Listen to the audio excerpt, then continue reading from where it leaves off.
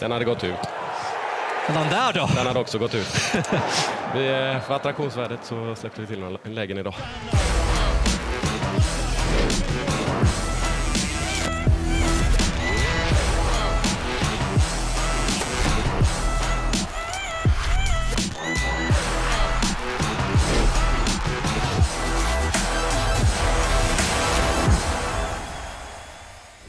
Efter lite sommarledighet säger vi återigen varmt välkomna till Studio Oddset Allsvenskan. Idag ska jag och Nisse prata upp Norrlandsderbyt och vi ska ha lite målvaktsfokus och vad passar då bättre än att gästas av en av de mest profilstarka keeprarna vi har haft i högsta serien på 2000-talet. Varmt välkommen Tommy Naurin.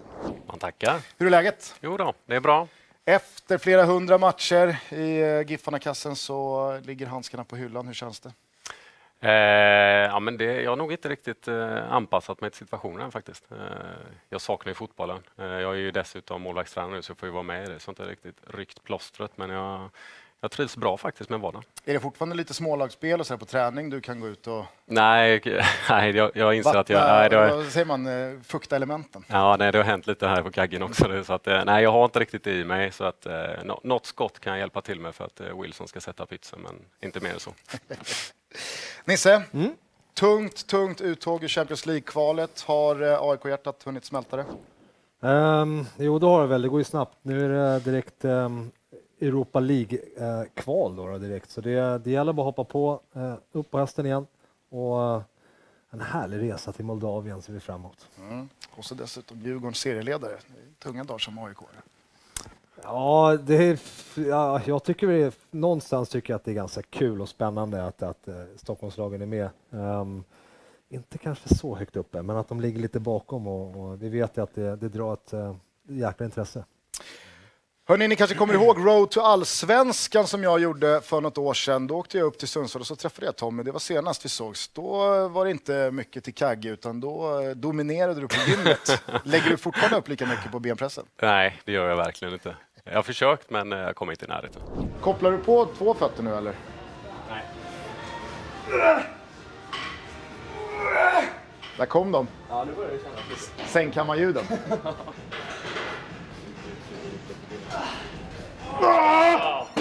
Jag är fan lite stolt över mig själv.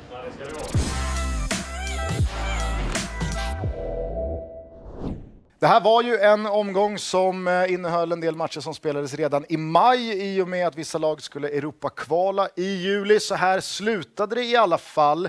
Eh, Och det var en tung omgång resultatmässigt för eh, GIF Sundsvall.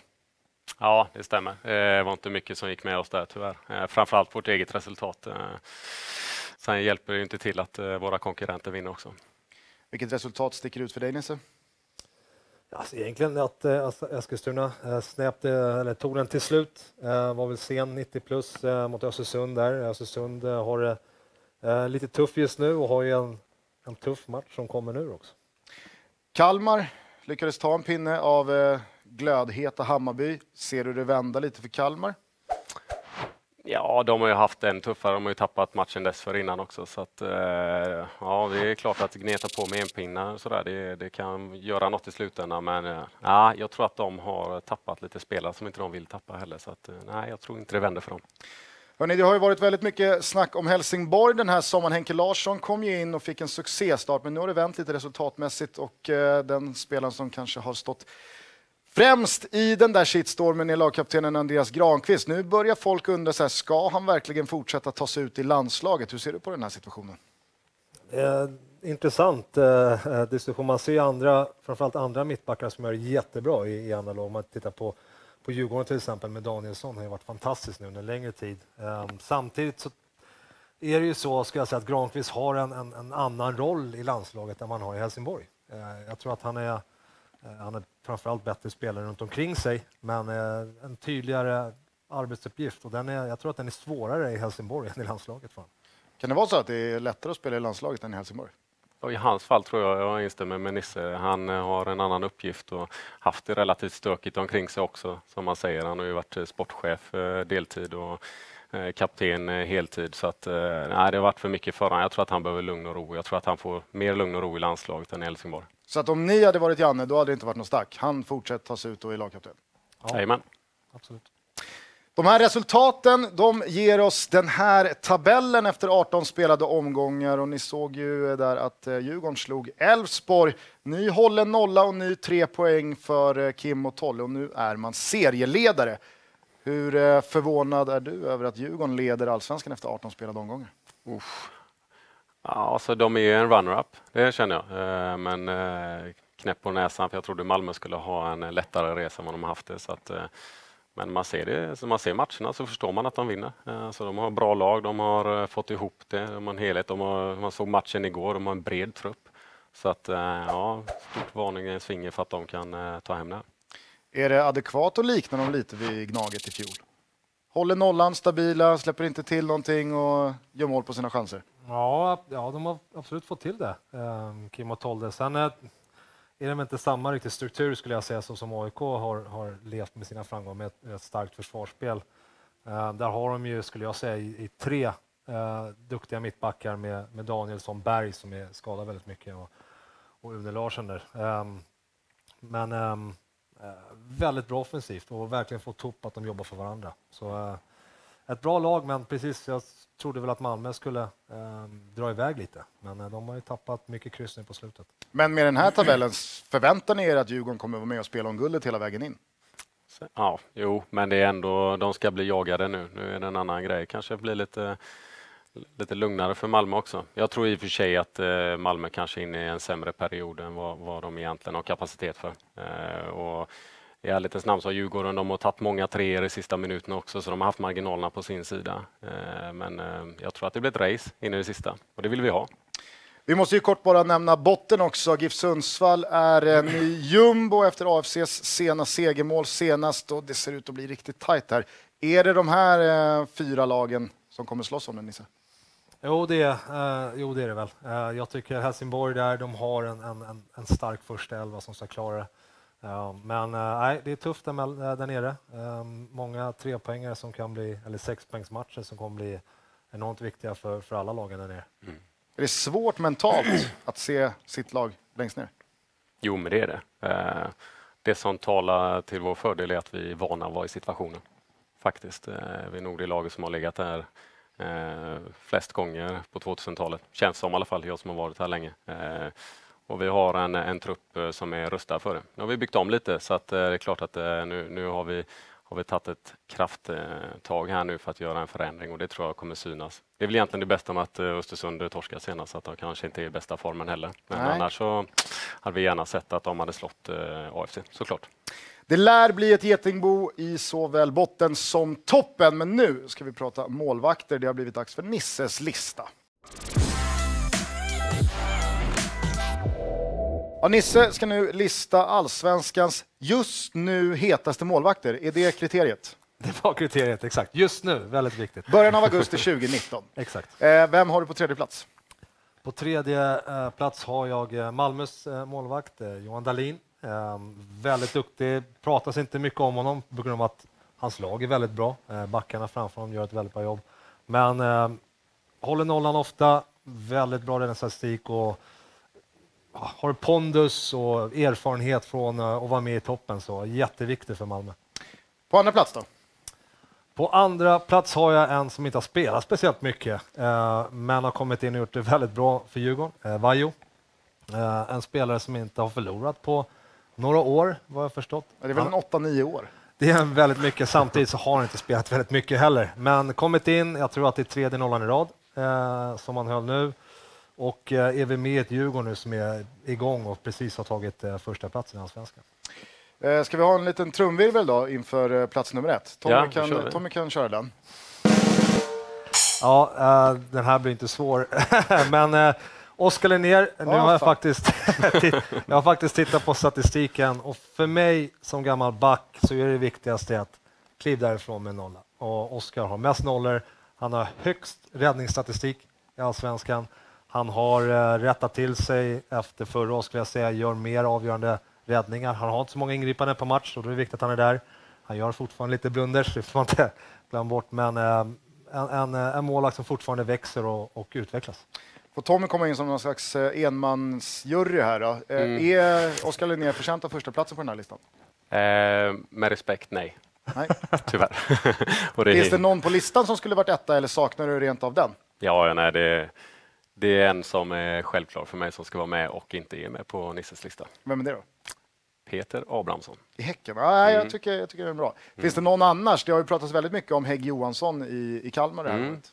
Ja, men, eh, jag, jag håller med Nisse att man ska, man ska ändå gå ifrån med nollan och man ska vinna matcher för sitt lag. Och det har Hägg gjort, absolut. Sen har det varit några ingripanden som kanske varit lite kostsamma också. Eh, och till skillnad från Peter då, som jag tycker har varit outstanding och har, har flest bestick i lådan också. Han, eh, han behärskar det här moderna spelet, han har en speluppfattning som faktiskt krävs, framförallt nere på Bravidas plast. Eh, han har eh, pondusen och så är han ruggigt ödmjuk, han har fötterna på jorden och det talar för att han kommer fortsätta utvecklas. Eh, inget illa mot de andra målvakterna, det tror jag. Känner, ju- känner ju de här keeprarna också, de är kanonmålvakter allihopa. Men eh, Peter står ut eh, som en lysande stjärna.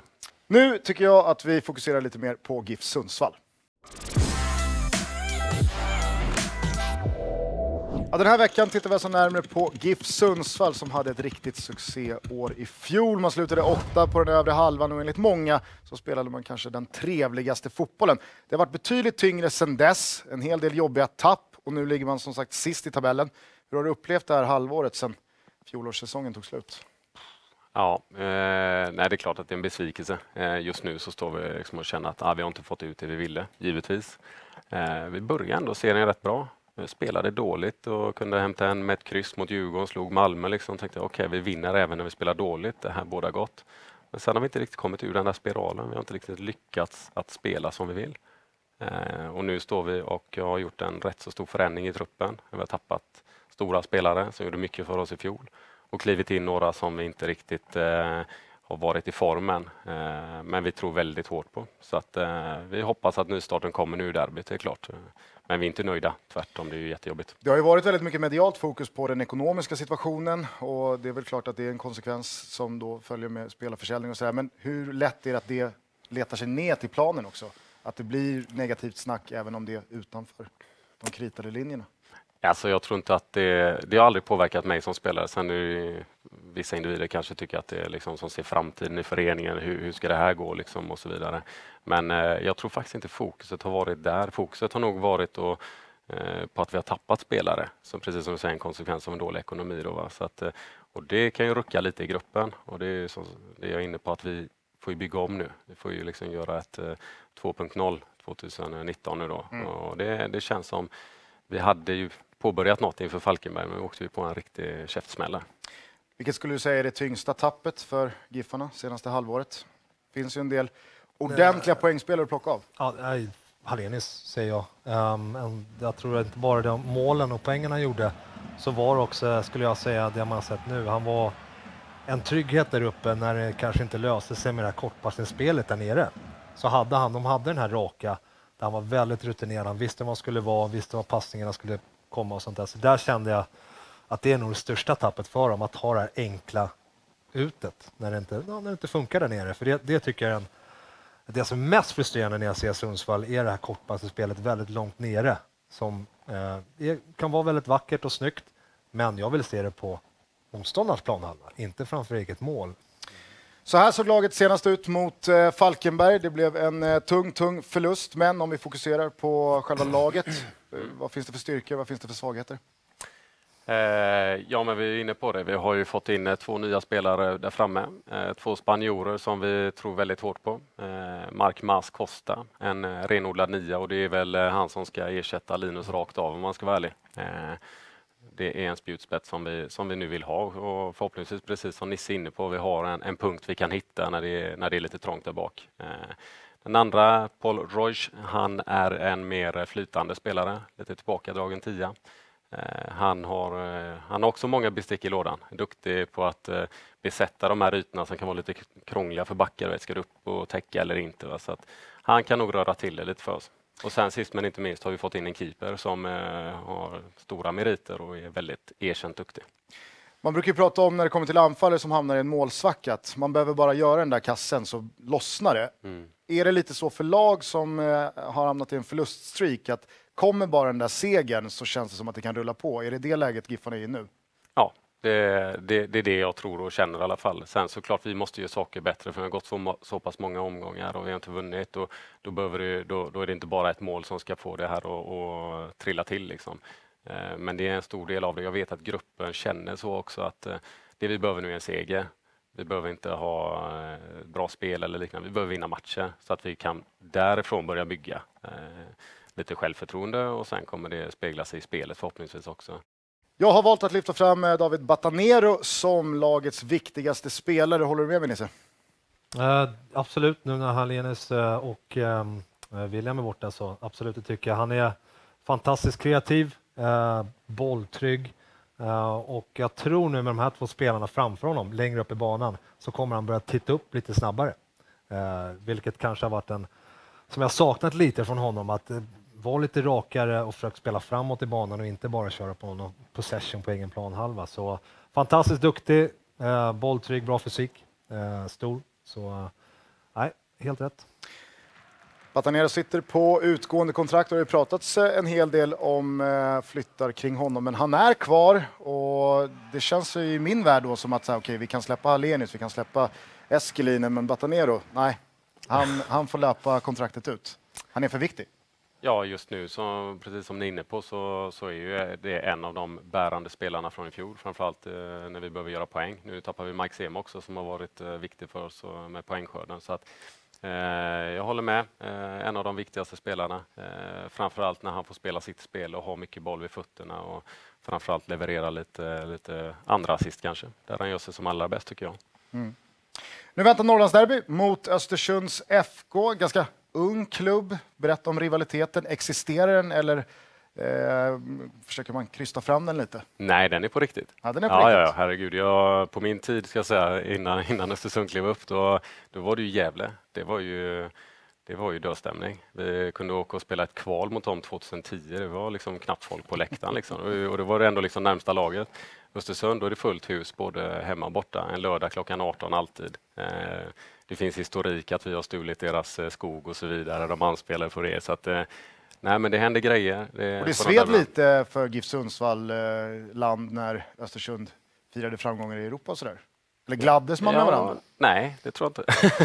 nej, men det, nej, men det är lillebror, storebror och det har ju blivit en stor grej för oss där uppe, liksom, att vi har just det här derbyt varje år. Så kan man, jag kan tycka att det är så, Nisse har spelat mer derbyn än mig, men alltså när, när derbyt kommer då kan man liksom bortse lite från tabellen också. Eh, nu är det klart att det är viktiga poäng för oss, men det är någonting som ligger lite utanför seriespelet. Mm. Eh, så att kliva in nu i ett derby och göra en prestation där liksom, och få med sig ett bra resultat, absolut. Eh, det kan vara den stora vändningen för Giffarna i år. Östersund ställde upp så här i senaste matchen hemma mot AFC Eskilstuna och det är lite liknande läge för Östersund som i Giffarna. Eh, på ett drygt år så har ju det där laget vittrat sönder och, och spelare har lämnat eh, en efter en. Eh, vad har de kvar för lag? Är det fortfarande ett slagkraftigt lag för övre halvan i allsvenskan eller börjar det se lite, lite för tunt nu? Det, det har ju hänt det som vi var rädda att det skulle göra, är att de köps sönder. Och spelare lämnar. De fick framgång och gjorde fantastiskt bra eh, i Europaspelet och i allsvenskan och nu försvinner en efter en. Edwards nu senast till, till Djurgården. Eh, så det är inte så konstigt att de har problem offensivt. Är de favoriter mot GIF Sundsvall eller hur ser du på det där? Nej, inga favoriter där. Nu är det derby. Nu kan vi glömma allt som har hänt. det blir riktiga eh, dunder och brak när vi ses. Så att, eh, det, jag ser fram emot lördagen eh, som bara. Resultatmässigt så är Östersunds trend ganska oroande. Alltså, de har inte tagit jättemånga poäng mot slutet. De kan ju dras in i en bottenstrid där. Ser du det hända eller har de ett tillräckligt bra lag att på de återstående omgångarna lösa ett nytt kontrakt ganska enkelt? Nej, men alltså, det, det är lättare nu när man inte spelar. Men ponera att vi vinner den här matchen då börjar vi närma oss varandra och helt plötsligt så, så kanske det kan vara ombytta roller mot hösten. Slänger ut en liten varning där. Mm. Det är inte bara Norrlandsderbyt som är en spännande match i den 19 omgången. Den ser ut så här i sin helhet. Ja, den 19 omgången inleds alltså med en Norrlandsderby, men också serieledarna Djurgården hemma mot Sirius. Sirius som har åkt på två tuffa smällar här på sistone. Är det tre nya enkla för Djurgården? Ja, nu tror jag att de rullar på lite faktiskt. Nu känns det som de, eh, de spelar både bra och får med sig de här marginalpoängen. Liksom. Walker kom in och gjorde mål senast. Liksom. Det är klart att Astrid kommer att vara lite han är viktig för dem. Men Mm. vi ser ändå att det finns lite kvalitet där bakom. Annars en kanonmatch på Bravida på Hisingen. Häcken mot Malmö. Vad ser du för fight framför dig där? Eh, Ett Malmö som vill eh, ta poäng. Eh, Häcken som gillar att möta Malmö. Eh, Och, eh, nej, bra, absolut en bra match. Jag tycker väl Häcken har underpresterat lite. Tyckte att de, ska vara lite högre upp eh, eh, med Andreas Alm och gänget. Så, eh, häcken vill vinna, Malmö vill också vinna. Så ja, bra match. Någon annan match som kittlar lite extra? Uh, nej, men det är klart att jag tittar på de där lagen omkring oss just nu. Eh, Blåvitt-Falkenberg kanske, eh, intressant. Göteborg får gärna göra jobbet. De får gärna göra jobbet nu. Nu får Ferran hjälpa oss, gamla kamrater. Sen är det ju faktiskt eh, en eh, riktigt spännande match på Parken i Norrköping när Elfsborg kommer på besök. De måste ju börja plocka lite poäng på bortaplan, Elfsborg. Att de har, jag vet inte, det, det verkar inte funka riktigt rätt i Elfsborg. De har gnetat till sig poäng. Jag tycker väl inte att det varit förtjänt de poängen de har fått heller. Så eh, Thelin har lite att stå i, det har han absolut. Mm. Till den här omgången så har jag plockat ut eh, en trippel såklart. Den här gången tror jag faktiskt till och med Nisse kommer ge två tummar upp. Håll i dig nu då, herr Johansson. Jag tror att eh, Djurgården slår Sirius. Sen så tror jag att eh, Norrköping slår Elfsborg. Sen så tror jag att Bayern de gör processen kort på Tele2, springer åtta runt granen och, och vinner det där enkelt med minst två mål. Kan den här inte inte sitta? Alltså det, jag hoppas ju att det inte gör det, först och främst ska jag väl säga. Eh, men visst, Djurgården ser fantastiskt stark ut. Sirius, Sirius har det tuffare. Absolut Djurgårdens seger där. Och Hammarby har ju gjort hur mycket mål som helst, eh, och framförallt på hemmaplan. Så eh, ser väl inte ut att eh, släppa det. Men de har granen. Han står där bak, håller nollan. Så vem vet. Ryggar du den här Tommy? Ja, Jag, jag har ju lite Norrköpingsögon då, men jag tror faktiskt att de mycket matcher nu kan få det lite tufft ändå, även om Elfsborg kommer som en underdog inför den matchen. Så att det är där i så fall det kan fallera. Vi får väl se. Jag tror i alla fall stenhårt på den här. Den här kan ni knacka ihop på svenskaspel.se. Ni hittar alla andra odds där eller i appen. Eh, du ska ha ett stort tack för att du kom hit Tommy Narin. Och så önskar vi dig och GIF Sundsvall stort lycka till under hösten. Tack för det. Du och jag Nisse, vi ses nästa vecka igen som vanligt. Svar ja. Vi med. Ciao!